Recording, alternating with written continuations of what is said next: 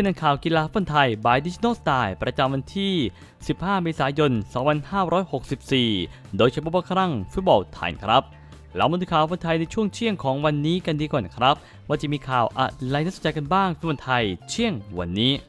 เปิดชมคาดการณ์11ตัวจริง ทีมชาติไทยจะทั้งหมด47รายชื่อ ที่นิชโนจะใช้ลุยบอลโลกกับทาง UAE โดยงานนี้หลังจากทางเซนเซ อากิระนิชิโนะกุนซือชาวญี่ปุ่นได้ประกาศรายชื่อ 47 นักเตะเข้าสู่แคมป์ทีมชาติไทยชุดใหญ่ เพื่อเตรียมความพร้อมลุยศึกฟุตบอลโลกปี 2022 รอบคัดเลือกโซนเอเชีย กลุ่ม G ที่ประเทศสหรัฐอาหรับเอมิเรตส์มีกำหนดออกเดินทางช่วงเดือนพฤษภาคมนี้ โดยเรามาดูกันดีกว่าว่าโฉม 11 ตัวจริง หรือว่าคาดการณ์ 11 ตัวจริง ทีมชาติไทย จากทั้งหมด 47 รายชื่อของทางนิชิโนะใช้ลุยคัดบอลโลกนั้นจะมีใครกันบ้าง เริ่มจากผู้รักษาประตู งานนี้จะเป็นศิวรักษ์เทศสูงเนิน ส่วนแผง back four กองหลังนั้นจะเป็นฟิลิปโรเลอร์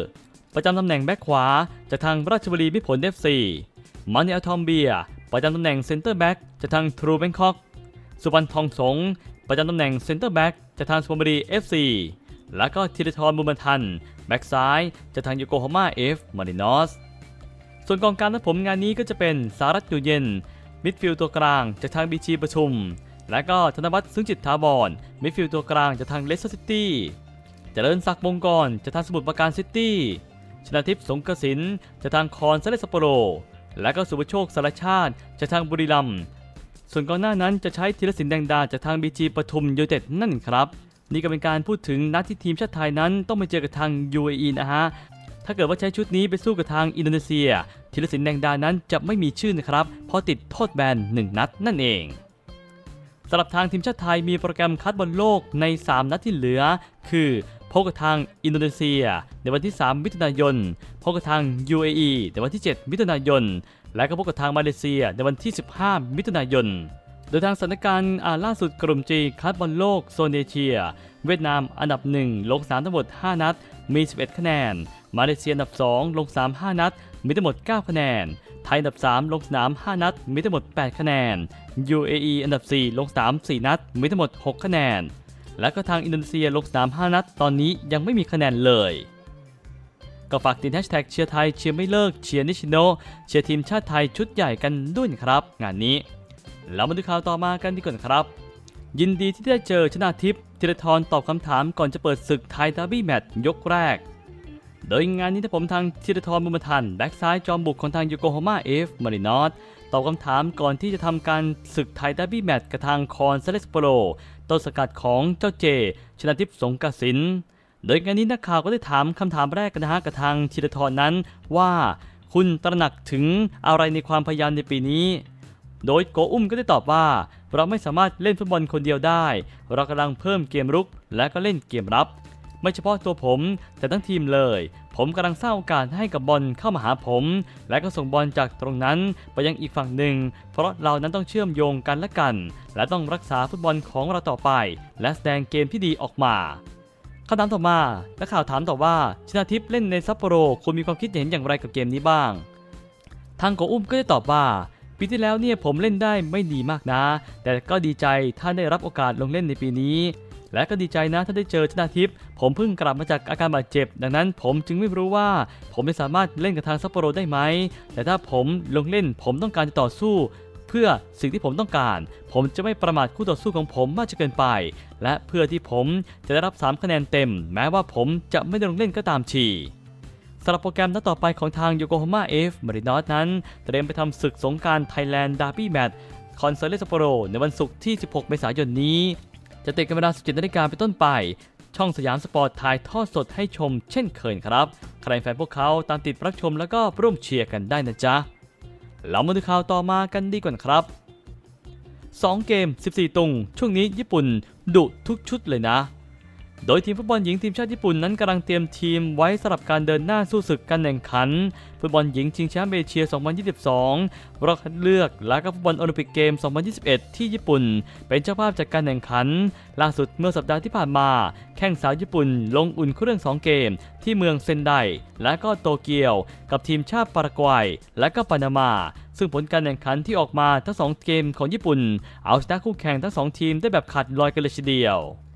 โดยเกมแรกเมื่อวันที่ 8 เมษายนที่ผ่านมาลงอุ่นเครื่องกับทางปารากวัย ทีมอันดับที่ 47 ของโลกที่เมืองเซนได โดยเกมดังกล่าวญี่ปุ่นถล่มเอาชนะไปถึง 7 ต่อ 0 ได้ประตูจากทางมานามิ อิวาบุจิ โบการิน สุกาซาวะ โมมิกิ และก็ทานากะ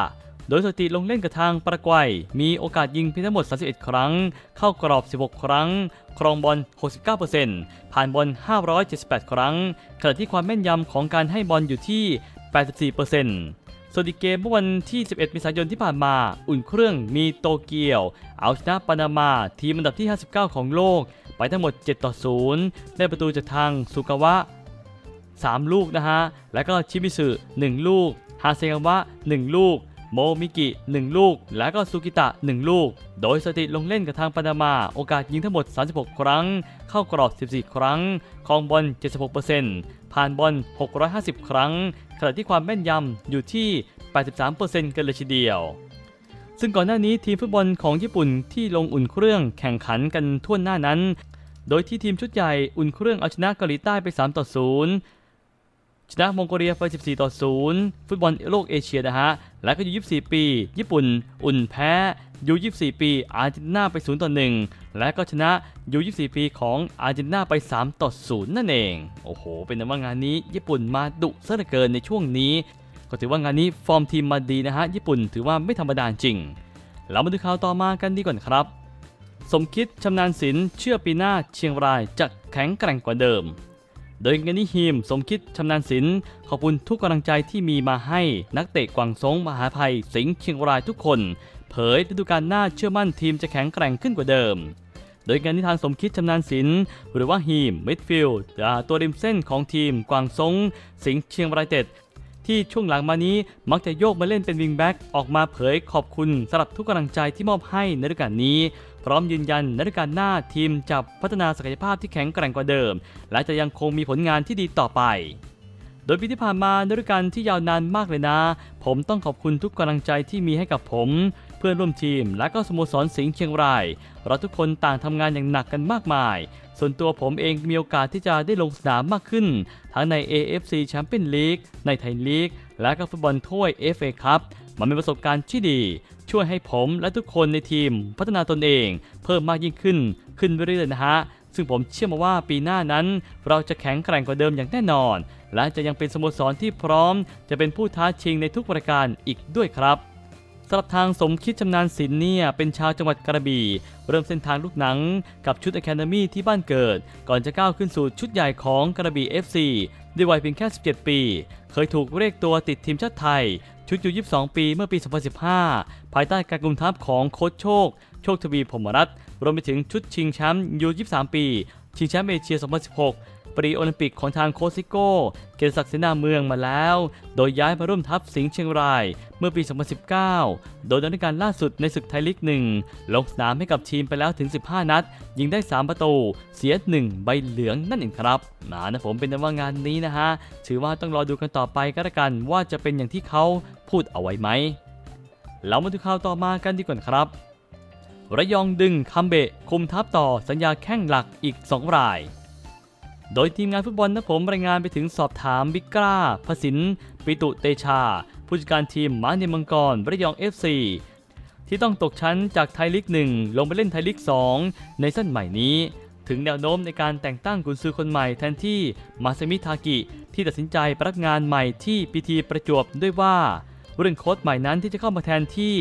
ตอนนี้ชัดเจนไปแล้วกว่า 99.99%ที่เราจะปิดดีลกับทางซูกาโอะคัมเบะกุนซือชาวญี่ปุ่น ซึ่งเหลือแค่การสัญญาเพียงแค่อย่างเดียวเท่านั้น โดยทางซูกาเอะคัมเบะเนี่ยจะเข้ามาสร้างทีมมะยอง FC ให้เป็นไปตามแนวทางและก็เป้าหมายที่เราหวังจะเลื่อนชั้น กลับไปในไทยลีกในปี 2022 เราอาจจะไม่ได้ทุ่มสร้างอะไรมากมาย แต่จะเน้นไปที่นักเตะสายเลือดประยอง จะมี 2 รายที่เรากำลังเจรจาต่อสัญญา ทั้งอนุชิตเงินบุคคลกัตันทีม และก็เทพิทักษ์พูนจวง โดยหลังจากนี้หากคัมเบกเข้ามางานแรกไปเลยก็คือ จะให้เขาเนี่ยดูว่าเราจะใช้งานผู้เล่นคนไหนจากชุดที่แล้วเพิ่มเติม จากอนุชิตและก็เทพิทักษ์สำหรับทางซูกาโอะคัมเบะคนนี้กุนซือวัย 59 ปี ผ่านการคุมทีมสโมสรไทยมาแล้วมากมาย ทั้งนครราชสีมามาสด้า FC เชียงใหม่ FC อุบล UMT หนองบัวพิชญ FC และก็ขอนแก่นยูไนเต็ดนะครับอ่านะผมเป็นว่างานนี้นะฮะ ก็ถือว่าต้องรอดูกันต่อไปก็แล้วกันว่ามานิมังกรระยอง FC ที่บอกว่าจะกลับมาไทยลีกหนึ่งในอีกหนึ่งปี ต้องรอลุ้นกันว่าจะเป็นเช่นไรนะฮะ ไปให้กำลังใจพวกเขากันด้วยครับ และนี่ก็เป็นที่ในข่าวกีฬาฟุตบอลไทย by Digital Style ประจำวันที่ 15 เมษายน 2564 โดยเฉพาะครั้งฟุตบอลไทยครับ